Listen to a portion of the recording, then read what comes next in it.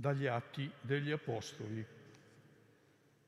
Mentre stava compiendosi il giorno della Pentecoste, si trovavano tutti insieme nello stesso luogo. Venne all'improvviso dal cielo un fragore, quasi un vento che si abbatte impetuoso, e riempì tutta la casa dove stavano apparvero loro lingue di fuoco come di fuoco che si dividevano e si posavano su ciascuno di loro e tutti furono colmati di Spirito Santo e cominciarono a parlare in altre lingue nel modo in cui lo Spirito dava loro il potere di esprimersi. Abitavano allora a Gerusalemme giudei osservanti di ogni nazione che è sotto il cielo. A quel rumore la folla si radunò e rimase turbata, perché ciascuno gli udiva parlare nella propria lingua. Erano stupiti e fuori di sé per la meraviglia, dicevano, tutti costoro che parlano non sono forse Galilei? E come mai ciascuno di noi sente parlare nella propria lingua nativa? Siamo parti, medi, elamiti, abitanti della Mesopotamia, della Giudea e della Cappadocia, del Ponto e dell'Asia, della Frigia e della Panfilia, dell'Egitto e delle parti della Libia vicino a Cirene romani qui residenti, giudei e proseliti, cretesi e, ar- e arabi, e li udiamo parlare nelle nostre lingue della grande opera di Dio. Parola di Dio.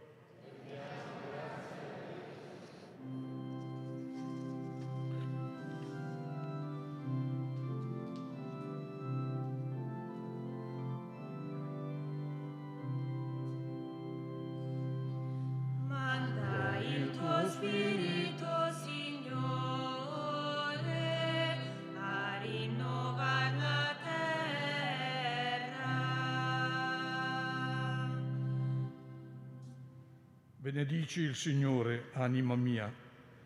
Sei tanto grande, Signore mio Dio. Quante sono le tue opere, Signore? Le hai fatte tutte con saggezza. La terra è piena delle tue creature.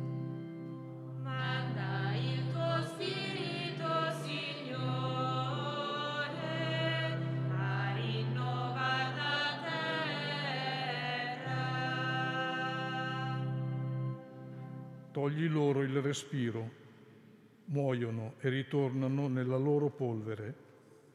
Mandi il tuo spirito, sono creati, e rinnovi la faccia della terra.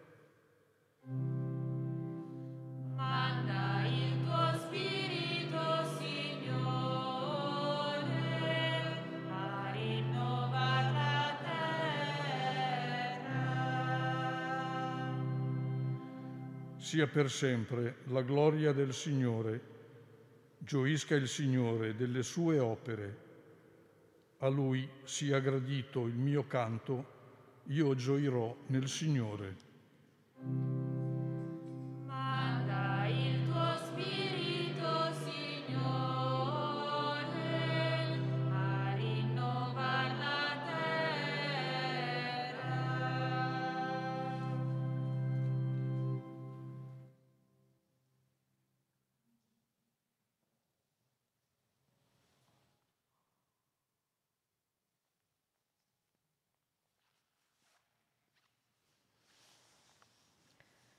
Dalla prima, dalla prima lettera di San Paolo Apostolo ai Corinzi.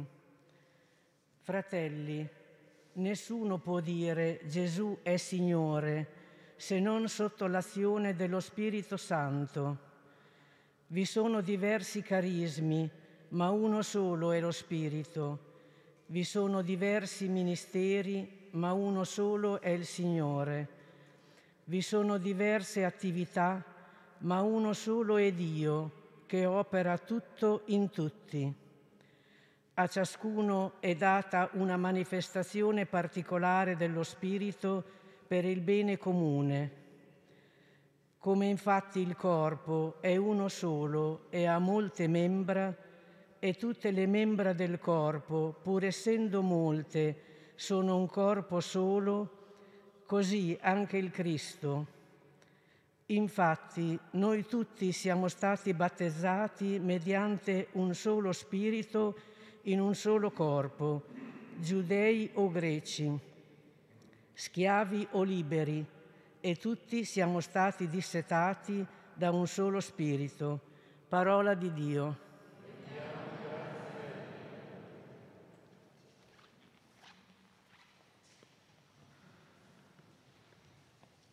Recitiamo insieme la sequenza. Vieni, Santo Spirito, manda a noi dal cielo un raggio della tua luce. Vieni, Padre dei poveri, vieni, Datore dei doni, vieni, luce dei cuori, consolatore perfetto, ospite dolce dell'anima, dolcissimo sollievo nella fatica riposo, nella calura riparo, nel pianto conforto. O luce beatissima, invadi nell'intimo il cuore dei tuoi fedeli. Senza la tua forza nulla è nell'uomo, nulla senza colpa. Lava ciò che è sordido, bagna ciò che è arido sana ciò che sanguina, piega ciò che è rigido, scalda ciò che è gelido, drissa ciò che è sviato, dona ai tuoi fedeli che solo in te confidano i tuoi santi doni, dona virtù e premio, dona morte santa, dona gioia eterna.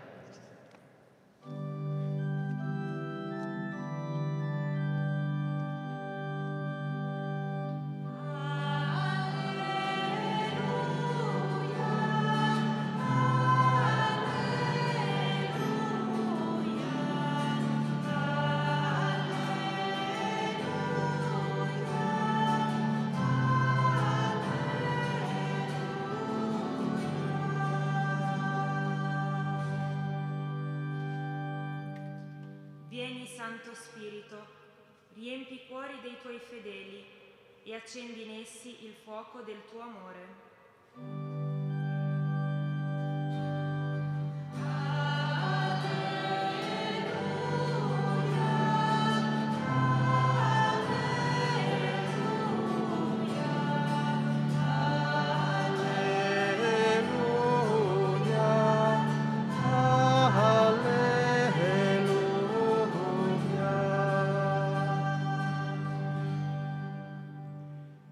Il Signore sia con voi.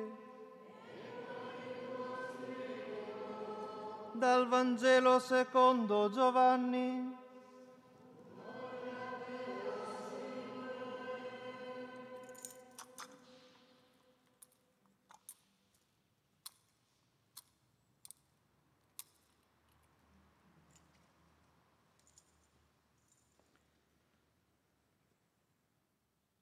La sera di quel giorno, il primo della settimana, mentre erano chiuse le porte del luogo dove si trovavano i discepoli per timore dei giudei, venne Gesù, stette in mezzo a loro e disse, pace a voi. Detto questo mostrò loro le mani e il fianco e i discepoli gioirono a vedere il Signore. Gesù disse di nuovo, pace a voi. Come il Padre ha mandato me, anche io mando voi. Detto questo, soffiò e disse loro, ricevete lo Spirito Santo. A coloro a cui perdonerete i peccati saranno perdonati, a coloro a cui non perdonerete non saranno perdonati. Parola del Signore.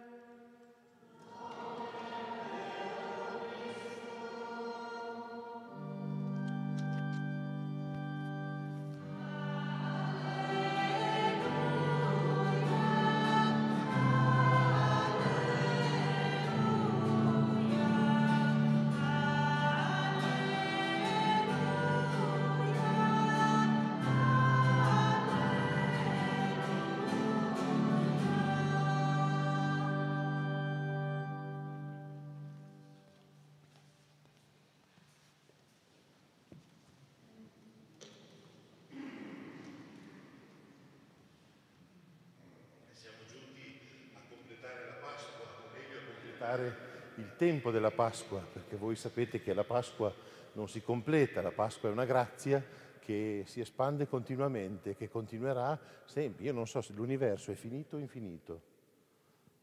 La materia, io non le ho mai capite le cose della fisica, quindi non lo so. Chiedete a chi ha studiato, che le cose le sa o pensa di saperle. Ecco, mentre la Pasqua è sicuramente una realtà che dura per l'eternità, è una grazia che ci viene consegnata e che dura per l'eternità, per cui noi la celebriamo dentro un tempo particolare, eh, ma noi siamo fatti così, andiamo a scatoline, eh, purtroppo siamo fatti in questa maniera, siamo limitati. Per noi perfetto vuol dire limitato, è perfetto vuol dire che è finito, per Dio è perfetto vuol dire che è eterno, che è per sempre, che non ha fine. È una realtà che dura sempre, è una realtà che per noi è una certezza. Per noi invece rimaniamo un po' così, forse un po' come gli apostoli prima della Pentecoste potremmo dire, perché ci sentiamo a volte un pochino orfani, ma il Signore l'ha detto, io non vi lascerò orfani, vi manderò un consolatore. Bisogna stare attenti con questa cosa del consolatore, che è un termine molto importante, non è un termine di consolazione. Valamò, ti togliamo un giochino, ma ti prendiamo una barrettina di cioccolata, così c'hai il tuo cicino di consolazione. Assolutamente no. Dice addirittura il Signore, oh, guardiamoci negli occhi, guardate che è meglio che io vada via. Ma non è meglio che io vada via perché se no mi vendico, mi prendo 5 minuti quando penso a tutto il male che mi avete fatto, che magari me la prendo e mi viperisco. No, è meglio per voi se io, va- perché se io non vado, non verrà a voi il consolatore. E... Guardate che, perché sapete la tiritera, no? Che o è la montagna che va da Maometto o è Maometto che va alla montagna. Ecco, finché c'era Gesù, eh, insomma, lui faceva quel che poteva e se tu volevi ci dovevi andare. Lo spirito consolatore è dato a noi tutti lui prenderà del mio. In questo senso Gesù ci lascia la certezza che lo riconosceremo. Oh, dice, ma, eh, ma hai sentito il consolatore? Ma dice le stesse cose di Gesù, eh? stesse, stesse, stesse. Sì, le stesse cose che dice Gesù Cristo. E beh, perché? Perché lui prenderà del mio e ve lo annuncerà. E ciò che è mio è tuo, ciò che è tuo è mio, vabbè, insomma, quelle cose lì, ok? Ma a questo punto uno dice, Signore, ma non è per essere diffidenti, ma chi è questo Spirito Santo? Oh, ma chi lo conosce? Ecco il Signore che si manifesta nel donare lo Spirito Santo, la Pentecoste, le lingue di fuoco, il cenacolo e tutto quel cavlì, nel Vangelo di Giovanni, nel cenacolo, il giorno di Pasqua, Gesù dona lo Spirito Santo. Ricevete lo Spirito Santo alitò su di loro e disse, come dalla croce aveva emesso l'ultimo sospiro e aveva emesso lo spirito, noi quando uno muore diciamo che rimette lo spirito, ma non è bella questa cosa, aveva emesso il suo spirito, ecco il Signore Gesù alitò su di loro, ricevete lo Spirito Santo. Lui stesso dona loro lo Spirito, perché riconoscano lo Spirito nel corpo ferito di Cristo. Cristo con tanto di ferite, in altri luoghi quando si manifesta i discepoli, eh, lasciamo stare il buon Tommaso che vuole andare a guardare le ferite, ma è Gesù stesso che mostra loro le mani e il costato perché hanno paura, Dio è un fantasma, ma figurati, ma non sono un fantasma, sono il corpo ferito di Dio, il corpo ferito, non il corpo ferito perché tu ti senti in colpa, guarda lì cosa hai fatto, vergognati, vatti a confessare. Una, una, confessatina ogni tanto non fa male, eh? no, non, è, non è per farci sentire in colpa, ma è tutt'altro, è per farci capire al di là dei nostri dubbi. Vi ricordate domenica scorsa all'ascensione? Gesù saliva al cielo, essi però, essi però dubitavano. Voi direte che vergogna, che vergogna gli apostoli che dubitano gli apostoli che dubitano. Io lo prendo come scusa invece. Dico, Signore, Io che spesso ho tanti dubbi e tante fatiche di fede, ma anche gli apostoli hanno dubitato il giorno dell'ascensione. Eh ma come si fa a non dubitare? Il corpo ferito di Cristo, presentato dopo la resurrezione agli apostoli, ci mostra il fatto che il Signore, Dio, assume il dolore dell'uomo, prende su di sé il dolore dell'uomo e non fa male a nessuno. Il Signore il dolore del dolore, scusate, se ne fa solo carico. Il Signore non provoca dolore alle persone, non porta il dolore alla gente. E allora che cosa porta il Signore? Porta il suo spirito, il suo spirito che riempie me. Non è più un qualche cosa da guardare o di cui dubitare. Faccio per dire che io sono io, non dubito mica, eh? Poi magari non mi riconoscete, ma che ne so io, ma io sono io, io lo so che sono io. Lo Spirito viene dentro ciascuno di noi, perché di questo noi non abbiamo nessun dubbio. Se io so e sento e capisco che lo Spirito di Cristo, lo Spirito del risorto, abita dentro di me, di questo io non dubito. Poi ragazzu, che io possa non averne voglia, che io possa non interessarmi, che io possa essere in bassa marea, benissimo, eh? Come diceva il mio amico prete che faceva la dieta con il pendolino, aveva un, una bacchetta di ferro? Non lo so. Lui prendeva la bacchettina di ferro, la metteva di fianco alla mano e diceva mangia la minestra e la bacchettina si piegava e lui mangiava la minestra. Se la bacchettina si piegava in senso orizzontale, lui, lui non mangiava la minestra. Ah, dico, beh, una bella schiavitù, eh? E lui mi disse, no, ma non c'è problema, basta incrociare i piedi e cambia la polarità del campo magnetico e quindi, ecco. Capite, io posso, posso non aver voglia di seguire lo Spirito Santo, ma da adesso in avanti nessuno mi venga a parlare di robe strane o di che cosa. Ma io dico, gente, ma lo Spirito Santo, ognuno ce l'ha nel suo cuore per il dono dei sacramenti. Con i sacramenti non si scherza, eh? assolutamente. Adesso ovviamente siamo costretti a questa forma di comunione spirituale, eccetera, eccetera, sotto e sopra, ma il dono che ci è stato dato è infinito, è grandissimo. Perché? Perché il nostro corpo stesso, ferito, un po' acciaccato, qualcuno, qualcuno ha mal di schiena? Alzi la mano. Uno, due, tre, quattro. Grazie per quelli che sono stati sinceri. Grazie anche agli altri che non hanno voluto partecipare. Il nostro corpo, un po' ciaccatello, ferito, ferito, è il luogo dove si trasforma la morte in vita. Perché uno che ha mal di schiena avrebbe tutto il diritto di ignorare, stare a letto e non alzarsi, invece dice mi alzo. Mi alzo perché? perché devo fare il caffè a mia moglie o devo fare il caffè a mio marito, o perché ho le mie cose da fare, perché non voglio essere dipeso a un'altra persona. E, mh, mm, cerco di farcela, cerco di darmi la mossa. Dentro di me lavora lo Spirito Santo, perché il mio corpo, la mia vita viene riempita dall'amore, non quello romantico, non quello delle farfalle, magari quello dell'energia, non lo so, dell'elettricità, ditelo come volete, non lo so come succede. Però uno, sai, si guarda e si dice, ma le mani, ma le mani servono se non fanno gesti d'amore? Uno ha gli occhi, tu hai gli occhi, ma i tuoi occhi servono a qualcosa se non vanno a cercare, a guardare l'amore, le cose buone. Se sono occhi indagatori, se sono occhi eh, giudicanti, se sono occhi accusatori.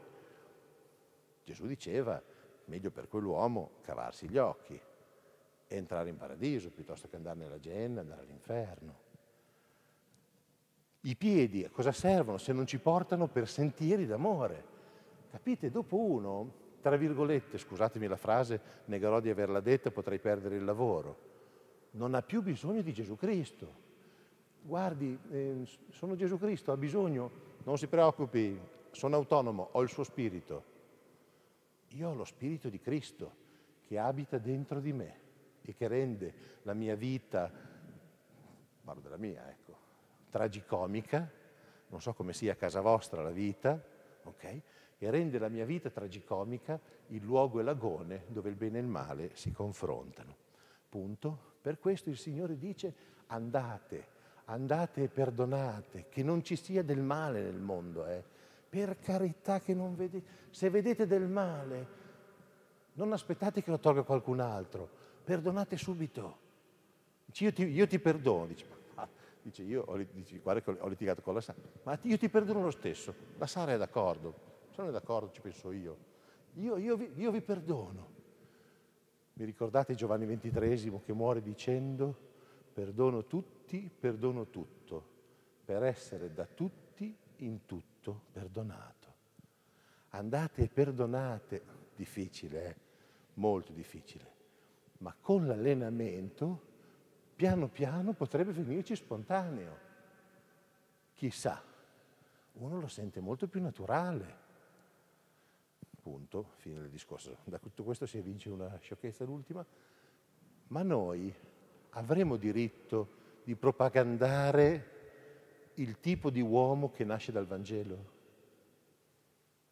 Secondo noi questo è essere umani. Non che lo siamo, ma lo stiamo diventando.